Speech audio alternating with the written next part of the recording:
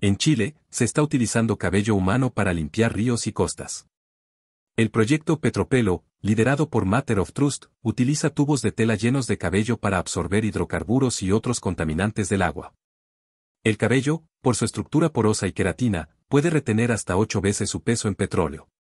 Esta iniciativa no solo es efectiva, sino también una forma innovadora de reutilizar residuos de peluquerías. Recuerda seguirnos para estar al tanto de todo.